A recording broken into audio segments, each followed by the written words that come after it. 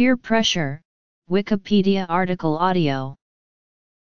Peer pressure is the direct influence on people by peers, or the effect on an individual who gets encouraged to follow their peers by changing their attitudes, values, or behaviors to conform to those of the influencing group or individual. This type of pressure differs from general social pressure because it causes an individual to change in response to a feeling of being pressured or influenced from a peer or peer group. Social groups affected include both membership groups, in which individuals are formally members, and cliques, in which membership is not clearly defined.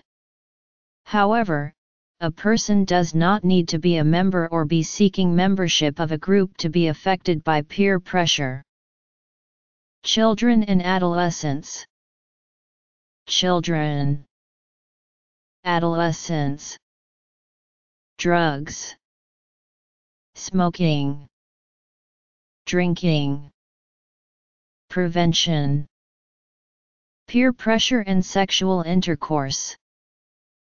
Neural mechanisms. Social media. Social media too.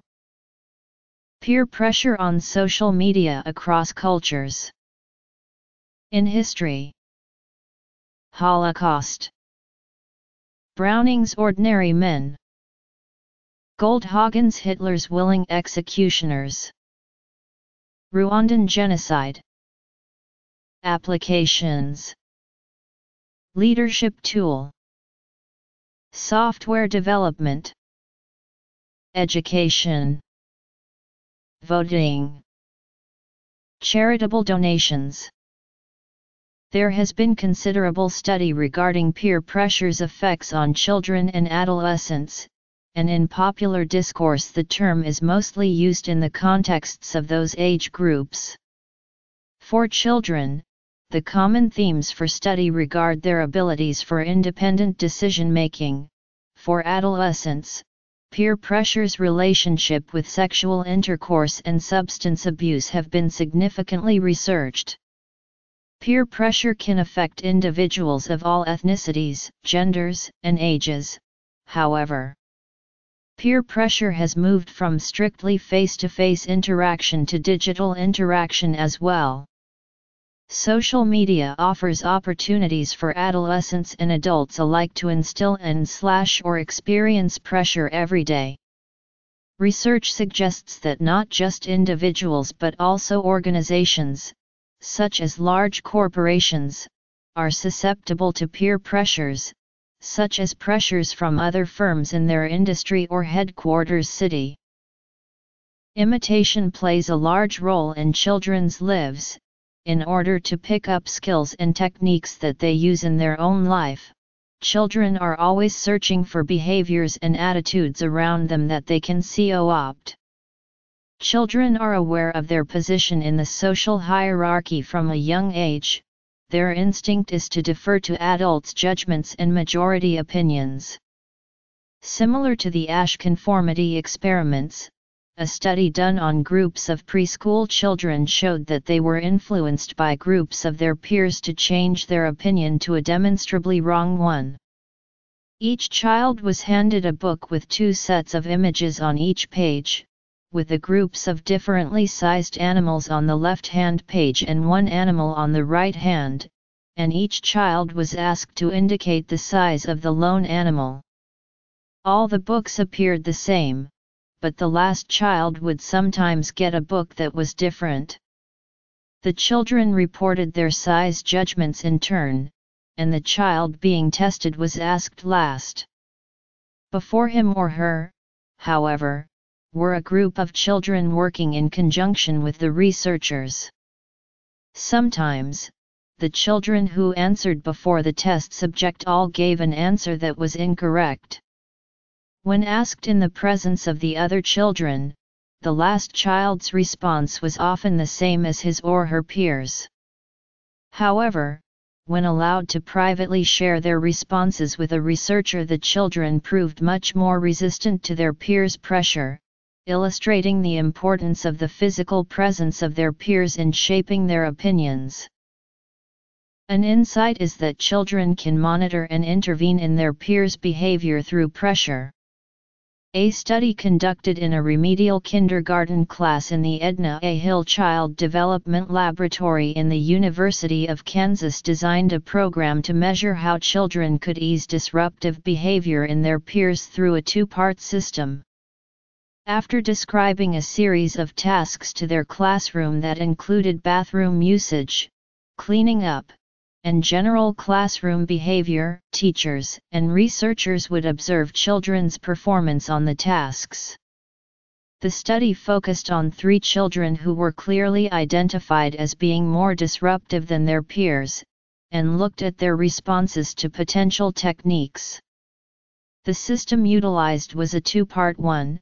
First, each student would be given points by their teachers for correctly completing tasks with little disruption, and if a student reached three points by the end of the day they would receive a prize. The second part brought in peer interaction, where students who reached three points were appointed peer monitors whose role was to lead their small groups and assign points at the end of the day. The results were clear-cut, showing that the monitored students' disruption dropped when teachers started the points system and monitored them, but when peer monitors were introduced the target students' disruption dropped to average rates of 1% for student C1, 8% for student C2, and 11% for student C3. Even small children, then, are susceptible to pressure from their peers, and that pressure can be used to effect positive change in academic and social environments. Adolescence is the time when a person is most susceptible to peer pressure because peers become an important influence on behavior during adolescence, and peer pressure has been called a hallmark of adolescent experience. Children entering this period in life become aware for the first time of the other people around them and realize the importance of perception in their interactions. Peer conformity in young people is most pronounced with respect to style, taste, appearance, ideology, and values. Peer pressure is commonly associated with episodes of adolescent risk taking because these activities commonly occur in the company of peers. Affiliation with friends who engage in risk behaviors has been shown to be a strong predictor of an adolescent's own behavior. Peer pressure can also have positive effects when youth are pressured by their peers toward positive behavior, such as volunteering for charity or excelling in academics. The importance of peers declines upon entering adulthood. Even though socially accepted children often have the most opportunities and the most positive experiences, research shows that social acceptance may increase the likelihood of engaging in risky behavior, depending on the norms in the group.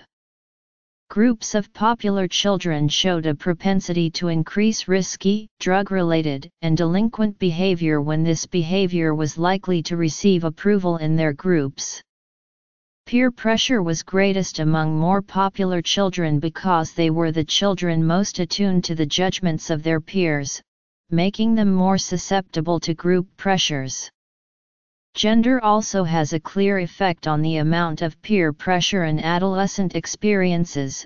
Girls report significantly higher pressures to conform to their groups in the form of clothing choices or speech patterns. Additionally, girls and boys reported facing differing amounts of pressures in different areas of their lives, perhaps reflecting a different set of values and priorities for each gender. Peer pressure is widely recognized as a major contributor to the initiation of drug use, particularly in adolescence. This has been shown for a variety of substances, including nicotine and alcohol. While this link is well established, moderating factors do exist. For example, Parental monitoring is negatively associated with substance use, yet when there is little monitoring, adolescents are more likely to succumb to peer coercion during initiation to substance use, but not during the transition from experimental to regular use. Caldwell and colleagues extended this work by finding that peer pressure was a factor leading to heightened risk in the context of social gatherings with little parental monitoring, and if the individual reported themselves as vulnerable to peer pressure. Conversely, some research has observed that peer pressure can be a protective factor against substance use. Peer pressure produces a wide array of negative outcomes. Allen and colleagues showed that susceptibility to peer pressure in 13 and 14 year olds was predictive of not only future response to peer pressure, but also a wider array of functioning. For example, greater depression symptomatology, decreasing popularity, more sexual behavior, and externalizing behavior were greater for more susceptible teens. Of note, Substance use was also predicted by peer pressure susceptibility such that greater susceptibility was predictive of greater alcohol and drug use. Substance use is likely not attributed to peer pressure alone. Evidence of genetic predispositions for substance use exists and some have begun to examine gene X environment interactions for peer influence. In a nationally representative sample, adolescents who had genetic predisposition were more likely to have good friends who were heavy substance users and were furthermore, more likely to be vulnerable to the adverse influence of these friends. Results from specific candidate gene studies have been mixed.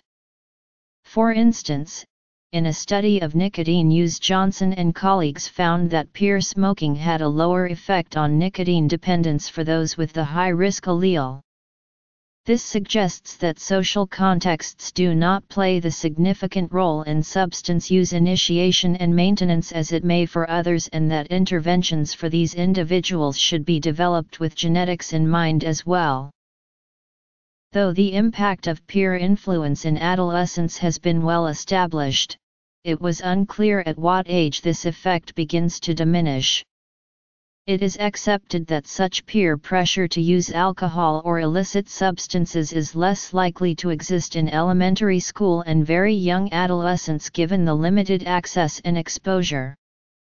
Using the resistance to peer influence scale, Sumter and colleagues found that resistance to peer pressure grew as age increased in a large study of 10 to 18 year olds.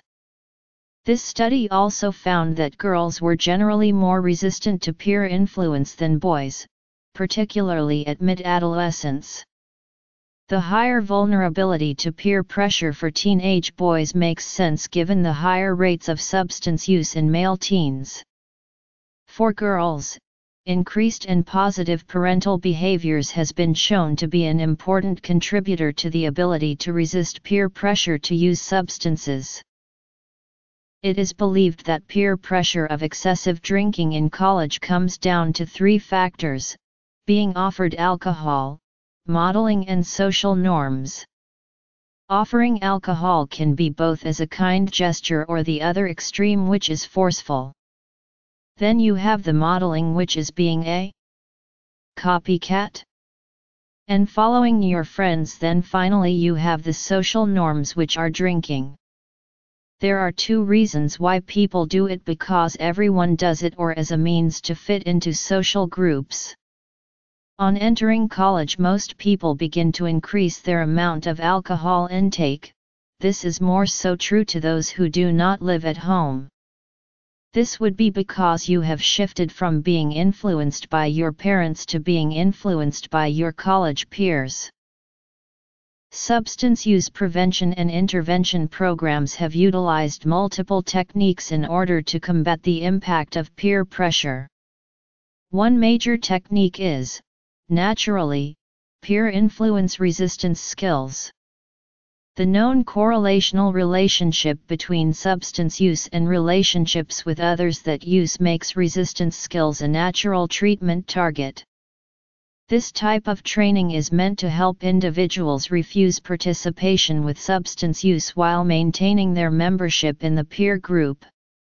Other interventions include normative education approaches, education interventions that raise awareness of potential dangers of substance use, alcohol awareness training and classroom behavior management. The literature regarding the efficacy of these approaches, however, is mixed. A study in Los Angeles and Orange counties that established conservative norms and attempted to correct children's beliefs about substance abuse among their peers showed a statistically significant decrease in alcohol, tobacco, and marijuana use but other studies that systematically reviewed school-based attempts to prevent alcohol misuse in children found no easily discernible pattern in both successful and failed programs. A systematic review of intervention programs in schools conducted by Onrust ETAL found that programs in elementary school were successful in slightly reducing a student's likelihood to abuse drugs or alcohol. However, this effect started to wear off with programs that targeted older students. Programs that targeted students in grades 8 to 9 reduced smoking, but not alcohol and other drug abuse, and programs that targeted older children reported no effect at all. In a non-substance context, however, research has showed that decision-making training can produce concrete gains in risk perception and decision-making ability among autistic children. When administered the training in several short sessions that taught the children how to recognize risk from peers and react accordingly, the children showed through post-training assessments that they were able to identify potential threats and sources of pressure from peers and deflect them far better than normal adolescents in a control group. There is evidence supporting the conclusion that parental attitudes disapproving sex tends to lead toward lower levels of adolescent unplanned pregnancy. These disparities are not due solely to parental disposition but also to communication. A study completed in Cape Town, South Africa, looked at students at four secondary schools in the region. They found a number of unhealthy practices derived from peer pressure, condoms are derided, threats of ridicule for abstinence, and engaging in sexual activity with multiple partners as part of a status symbol. The students colloquially call others who choose abstinence as umqwayito, which means dried fruit slash meat. An important solution for these problems is communication with adults, which the study found to be extremely lacking within adolescent social groups. Literature reviews in this field have attempted to analyze the norms present in the interactions and decision making behind these behaviors. A review conducted by Bongardt et al. defined three types of peer norms that led to a person's participation in sexual intercourse descriptive norms, injunctive norms, and outright peer pressure. Descriptive norms and injunctive norms are both observed behaviors and are thus more indirect forms of pressure, but differ in one key aspect. Descriptive norms describe peers' sexual behaviors, but injunctive norms describe peers' attitudes toward those behaviors. The last norm defined by the study is called peer pressure by the authors, and is used to describe direct encouragement or pressure by a person's peers to engage in sexual behavior. The review found that indirect norms had a stronger effect on a person's decision to engage in sexual behavior than direct peer pressure. Between the two indirect norms, descriptive norms had a stronger effect, people were likely to try what they thought their peers were engaging in rather than what they thought had approval in their peer group. Additionally, studies have found a link between self-regulation and likeliness to engage in sexual behavior. The more trouble a subject had with self-regulation and self-control growing up, the more they were likely to fall prey to peer pressure that would lead them to engage in risky sexual acts. Based on these findings, it may be a good idea to prevent these through either a decision-making program or by targeting adolescents' ability to self-regulate against possible risks. From a purely neurological perspective, the medial prefrontal cortex and the striatum play an important role in figuring out the value of specific actions. The MPFC is active when determining socially tagged objects, which are objects that peers have expressed an opinion about. The striatum is significant for determining the value of these socially tagged objects and rewards in general. An experiment performed by Mason et al. utilizing fMRI scans analyzed individuals who were assigned to indicate if a chosen symbol appeared consecutively. The researchers did not tell the subjects the real purpose of the experiment, which was to collect data regarding MPFC and striatum stimulation. Before the actual experiment began, the subjects were subject to a phase of social influence, where they learned which symbols were preferred by other subjects of completed the experiment.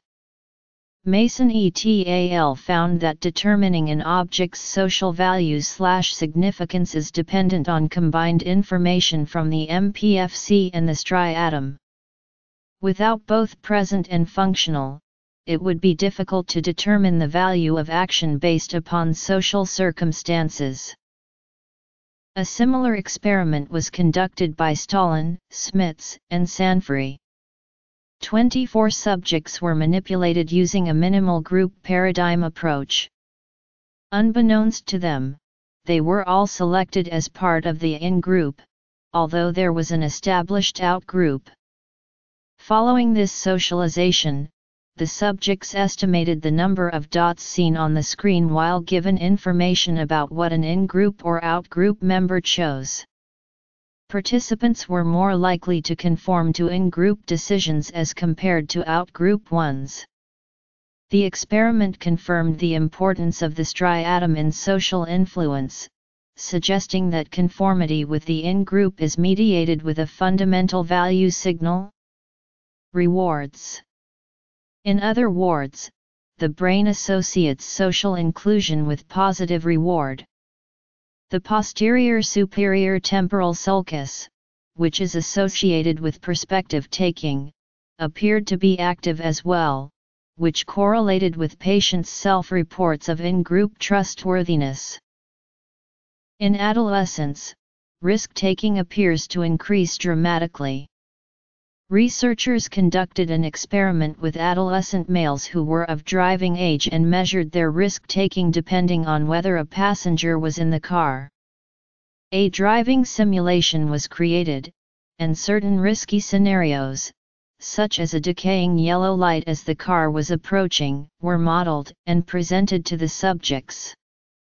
Those who were most likely to take risks in the presence of peers had greater brain activity in the social cognitive and social affective brain systems during solo activity. The social cognitive aspect refers to the ability to gauge what others are thinking and is primarily controlled by the MPFC, right temporal parietal junction, and the posterior cingulate cortex.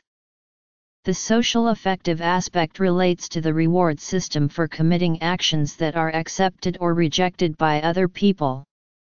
One side of the reward system is social pain, which refers to the emotional pain felt by individual due to group repudiation and is associated with heightened activity in the anterior insula and the subgenual anterior cingulate cortex. Social media provides a massive new digital arena for peer pressure and influence. Research suggests there are a variety of benefits and negative influences from social media use, such as increased socialization, exposure to ideas, and greater self-confidence. There is also evidence of negative influences such as advertising pressure, exposure to inappropriate behavior and slash or dialogue, and fake news. These versions of digital peer pressure exist between youth, adults, and businesses.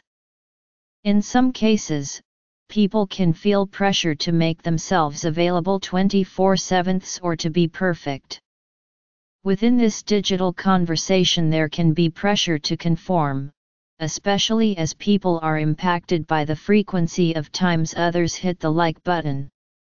The way others portray themselves on social media might lead to young people trying to mimic those qualities or actions in an attempt at conformity. It may also lead to a fear of missing out, which can pressure youth into irresponsible actions or decisions. Actions and influence on social media may lead to changes in identity, confidence, or habits in real life for children, adolescents, and adults. Over 3 billion social media users across the world are using a variety of platforms, in turn, the type, frequency, and scope of the resulting peer pressure fluctuates. Some research suggests social media has a greater influence on purchasing decisions for consumers in China than in other countries in the world.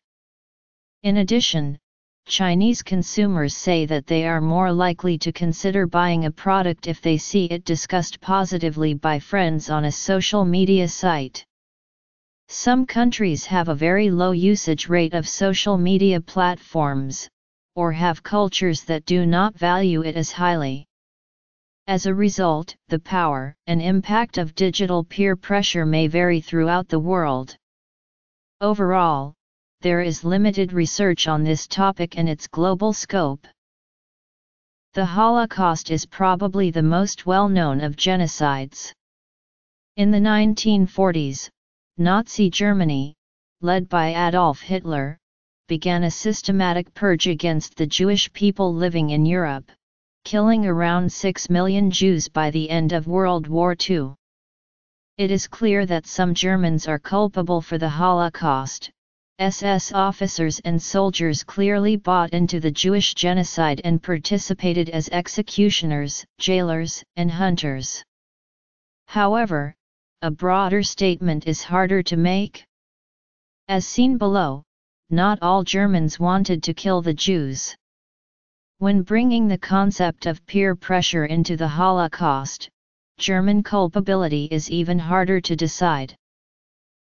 The primary issue revolves around collective responsibility and beliefs. As such, there are two positions, most notably held by Christopher Browning and David Goldhagen. Christopher Browning, most known for his book Ordinary Men, Reserve Police Battalion 101, relies on an analysis of the men in Reserve Police Battalion 101. The men of the 101st were not ardent Nazis but ordinary middle-aged men of working-class background from Hamburg. They were drafted but found ineligible for regular military duty. Their test as an order police battalion first came in the form of Józefów, a Jewish ghetto in Poland.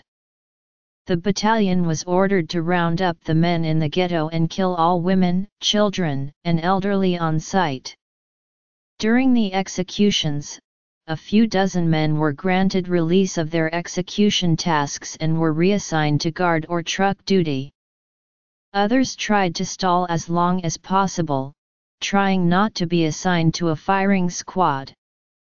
After the executions were completed, the men drank heavily, shaken by their ordeal. At the end of his book, Browning supplies his theory on 101's actions. A combination of authoritative and peer pressure was a powerful coercive tool. First, the Nazi leadership wanted to keep the country's soldiers psychologically healthy, so soldiers were not forced to commit these murders. Throughout the German ranks, nothing negative happened to the soldiers and policemen who refused to join in on a firing squad or Jewish search party. They would simply be assigned other or additional duties, and perhaps subject to a little verbal abuse deriding their cowardice. For the officers, no official sanction was given, but it was well known that being unable to carry out executions was the sign of a weak leader, and the officer would be passed for promotions. Second, Major Trapp, the head of Battalion 101, consistently offered protection from committing these actions, even so far as supporting one man who was blatantly and vocally against these practices. he established ground rules in which only volunteers were taking on Jewish hunts and raids. Browning relies on Milgram's experiments on authority to expand his point. Admitting that Trapp was not a particularly strong authority figure, Browning instead points to the Nazi leadership and the orders of the highest order that were handed down. Furthermore, according to Browning's analysis, one reason so few men separated themselves from their task was peer pressure. Individual policemen did not want to lose face in front of their comrades. Some argued that it was better to shoot one and quit than to be a coward immediately. Some superior officers treated those who did not want to execute Jews with disdain, on the other hand, those selected for the executions or Jewish hunts were regarded as real men and were verbally praised accordingly. For some, refusing their tasks meant that their compatriots would need to carry the burden and the guilt of abandoning their comrades compelled them to kill. David Goldhagen, disagreeing with Browning's conclusion, decided to write his own book, Hitler's Willing Executioners. Its release was highly controversial. He argues that the Germans were always anti-Semitic, engaging in a form of eliminationism. Taking photos of the deceased, going on Jew hunts, death marches near the end of the war, and a general focus on hate are points Goldhagen utilizes in his book. He does not believe that peer pressure or authoritative pressure can explain why ordinary Germans engaged in these actions. He believes that in order for the policemen in Battalion 101 to kill, they must all be fully committed to the action. No half-heartedness. As he notes. For that matter, for someone to be pressured into doing something, by peer pressure, everyone else has to want to do it. Peer pressure can, of course, operate on isolated individuals, or small groups, but it depends upon the majority wanting to do it. So the peer pressure argument contradicts itself. If the majority of the people hadn't wanted to kill Jews, then there would have been peer pressure not to do it. Instead, he places a significant emphasis on the German people's anti-Semitism, to the extent of drawing ire from other historians. Browning notes Goldhagen's uniform portrayal of Germans, dehumanizing all of the perpetrators without looking at the whole picture. For example, in the town of Gneisenau, the police battalion executed over a dozen elderly Poles in retaliation for the murder of a German policeman. It is less clear, then, if the Germans in the police battalion are antagonistic only towards Jews. The German-Canadian historian Ruth Bettina Birn has, in collaboration with Volker Riess, checked Goldhagen's archival sources from Ludwigsburg. Their findings confirm the arbitrary nature of his selection and evaluation of existing records as opposed to a more holistic combination of primary sources. Furthermore, Konrad Kwiet, a Holocaust historian, argues that Goldhagen's narrow focus on German anti-Semitism has blinded him to other considerations. He points to the massacres of non-Jews as an example. On the motives of Hitler's willing executioners in murdering handicapped people within the so-called euthanasia program, in liquidating 2.7 million Soviet prisoners of war, in exterminating Romas or in killing hundreds of thousands of other people classified as enemies of the German people and nation.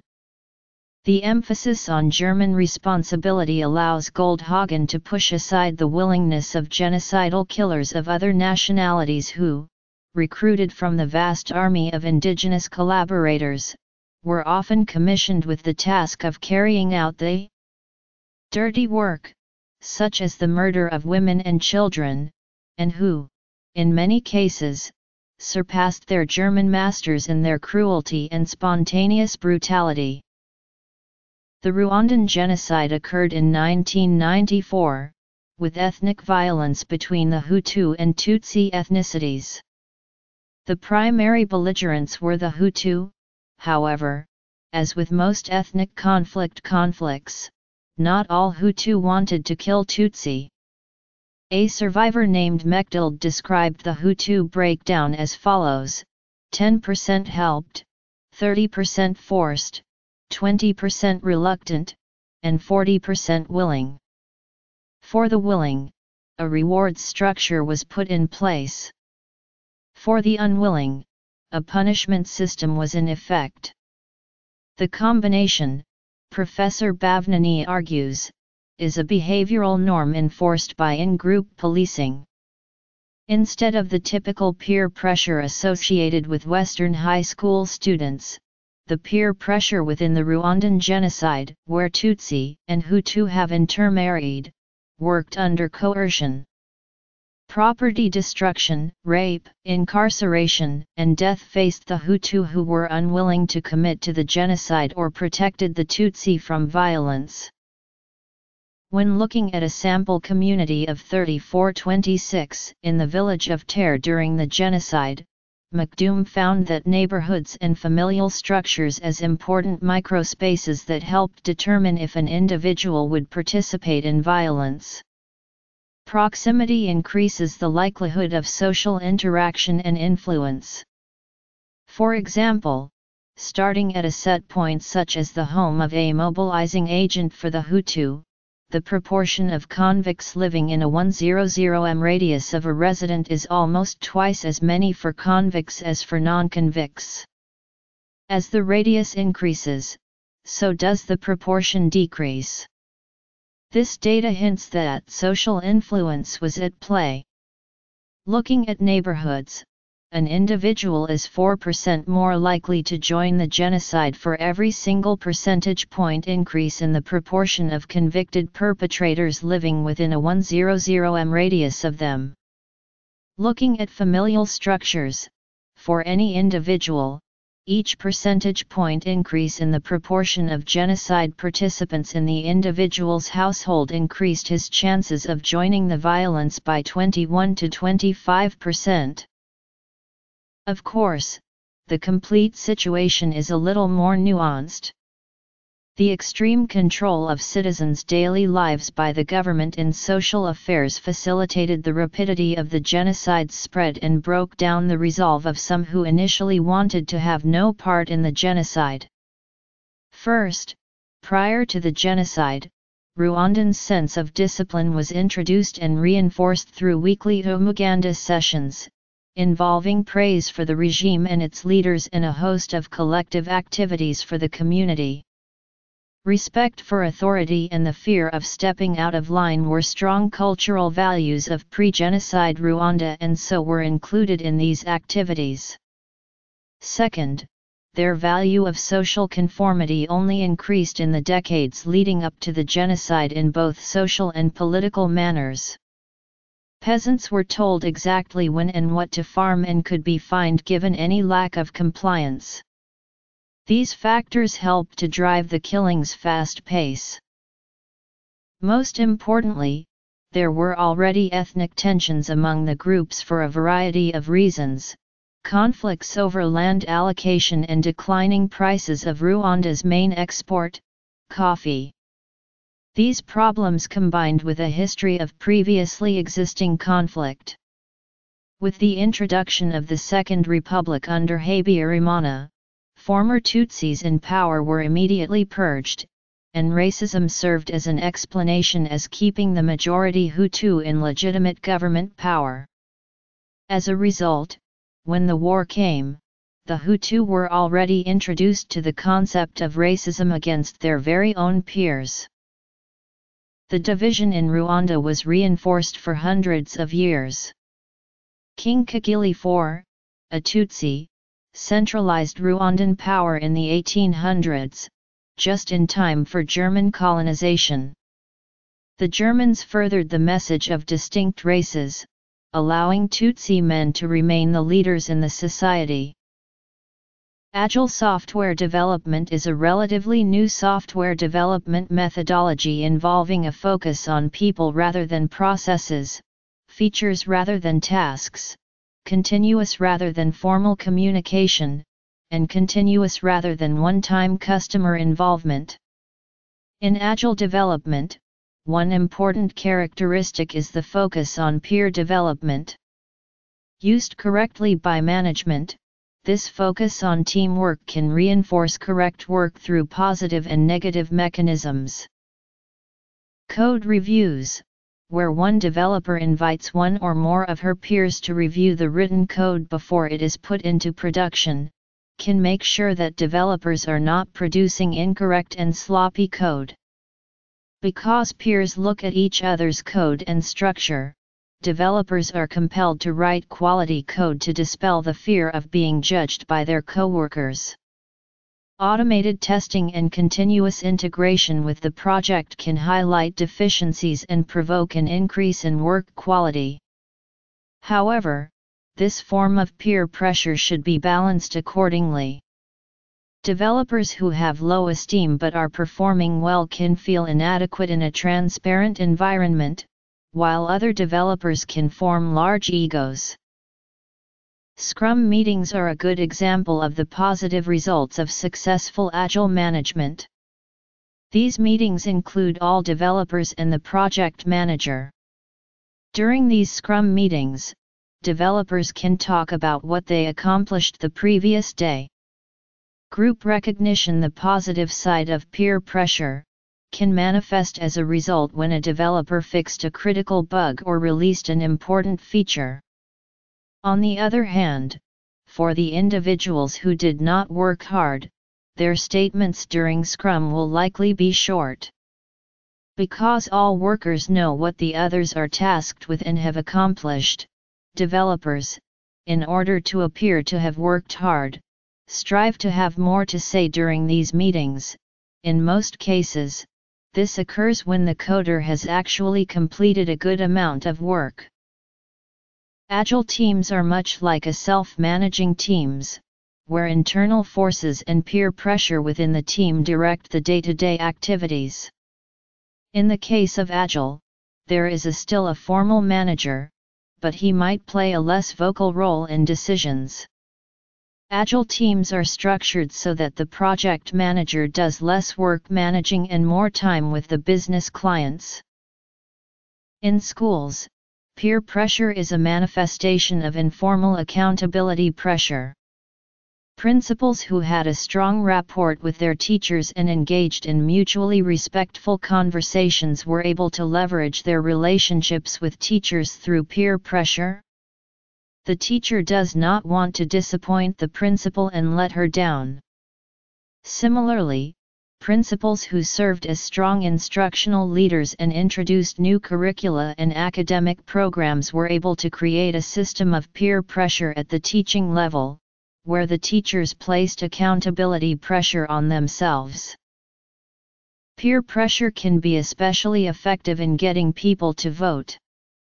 Gerber, Green, and Larimer conducted a large-scale field experiment involving over 180,000 Michigan households in 2006 and four treatments, one was a reminder to vote, one was a reminder to vote and a note informing them that they were being studied, one that listed the voting records for all potential household individuals, and finally one that listed the voting records for the household individuals and their neighbors.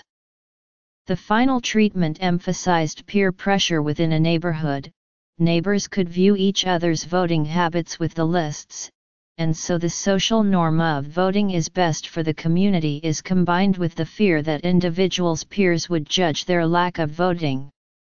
Compared to a baseline rate of 29.7%, the treatment that utilized peer pressure increased the percentage of household voters by 8.1%, which exceeds the value of in-person canvassing and personalized phone calls.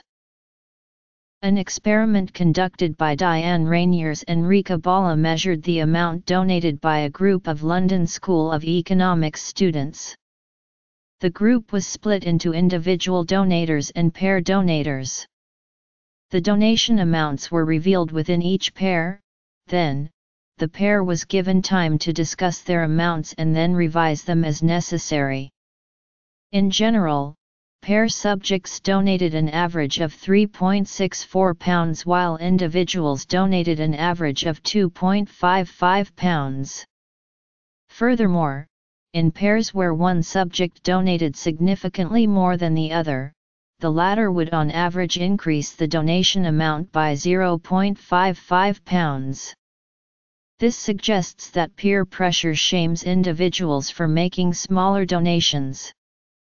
But when controlling for donation amount, paired subjects were significantly less happy with their donation amount than individual subjects.